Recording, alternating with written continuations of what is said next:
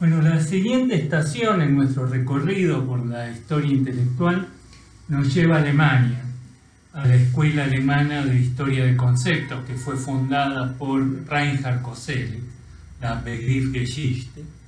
Esta reacciona contra la tradición neocantiana de Ideengeschichte, de historia de ideas. Sobre todo le va a cuestionar lo que considera al igual que la History of Ideas de Lampson, lo que considera su ahistoricismo. Lo que vamos a ver entonces en esta clase son cuáles son los aportes de la Begriffsgeschichte, la, fundada por Reinhard Koselleck, también cuáles son algunos de los problemas que plantea su teoría. Pero antes de pasar a esto, vamos a ver primero cuáles eran los fundamentos filosóficos sobre los cuales se fundaron estas teorías y sobre todo con, esa con la tradición neocantiana, con las filosofías neocantianas de la historia, y ver cuáles, son, cuáles eran los postulados de la vieja historia de ideas alemanas, la existe contra la cual la escuela de Reinhard Koselleck va a reaccionar.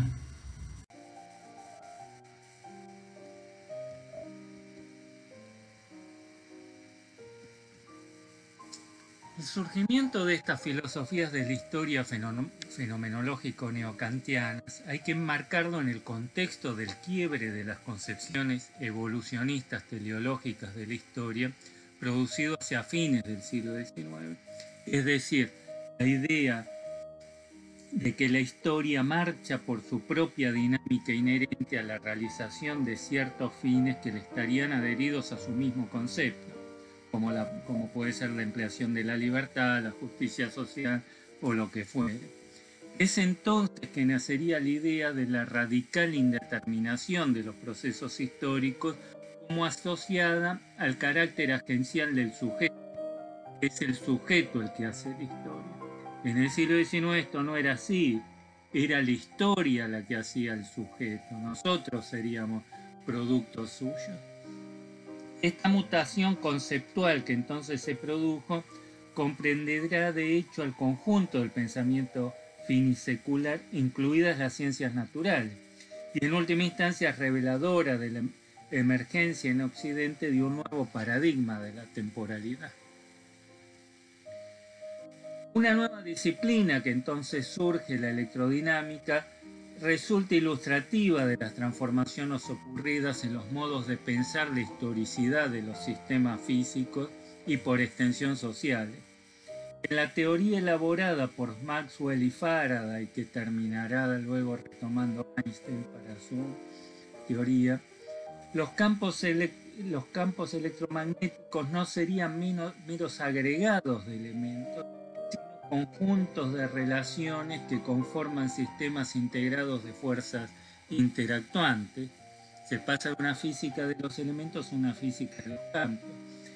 Esto es un análogo también a lo que pasa en la lingüística con De sin embargo, estos sistemas van a aparecer ahora como constelaciones de elementos cuya composición y recomposición resulta espontánea y repentina que no obedece a ningún patrón genético de formación progresiva.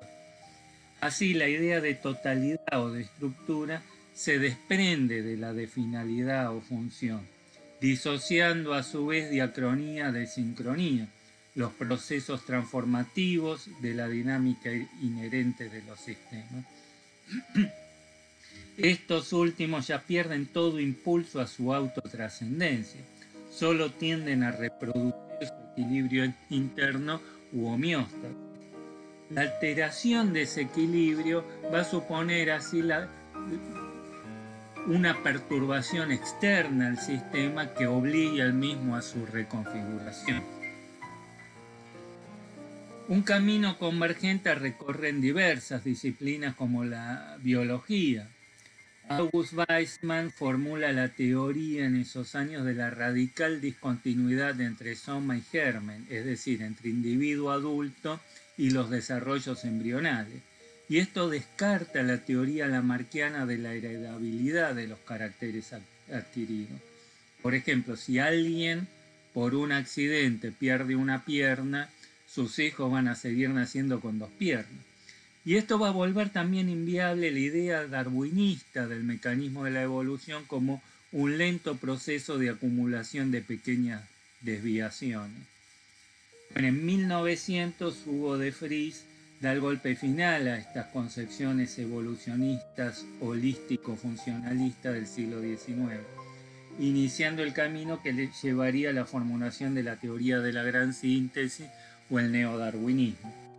Para de Vries, los fenómenos evolutivos a nivel filogenético resultan de transformaciones súbitas o mutaciones globales azarosas. Bergson en esos mismos años, 1900, en la evolución creadora, explica esto con el ejemplo. Un ojo es un órgano infinitamente complejo, no se pudo haber formado gradualmente. No tendría sentido la existencia de un iris sin una córnea, una pupila, etc. O se formó todo de golpe o no se pudo haber formado. De este modo las mutaciones, el cambio se ven reducidas a ocurrencias impredecibles, generadas internamente pero sin ninguna meta o finalidad perceptible. Aun cuando éstas sirven un proceso adaptativo de las especies a su medio, la selección se producirá solo a posteriori sin ningún impacto inmediato en los procesos genéticos mismos.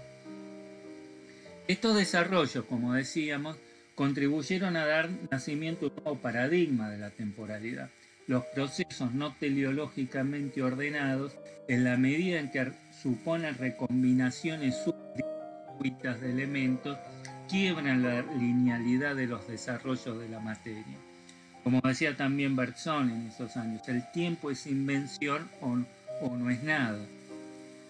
Cada momento discreto en la secuencia de transformaciones operadas en un sistema introduce una novedad radical, es decir, conlleva la reconfiguración total según un arreglo nuevo y peculiar de los elementos constituyentes, como, como sería, ocurre en los golpes de caleidoscopio de que hablaba Bergson. Solo en este contexto entonces emerge el problema del carácter agencial del sujeto histórico. Esto nos lleva a lo que llamo el desafío evolucionista. Tomando una expresión de Koselleck, si consideramos que la historia constituye un sistema cerrado sobre sí, significa que un estado consecuente B nace necesariamente de su estado antecedente A. Dado que no hay nadie que pueda intervenir desde fuera de la propia historia, como consecuencia de ello hay que suponer que en B no habría, no podría encontrarse nada que no estuviese ya presente en A, al menos como una potencialidad de desarrollo.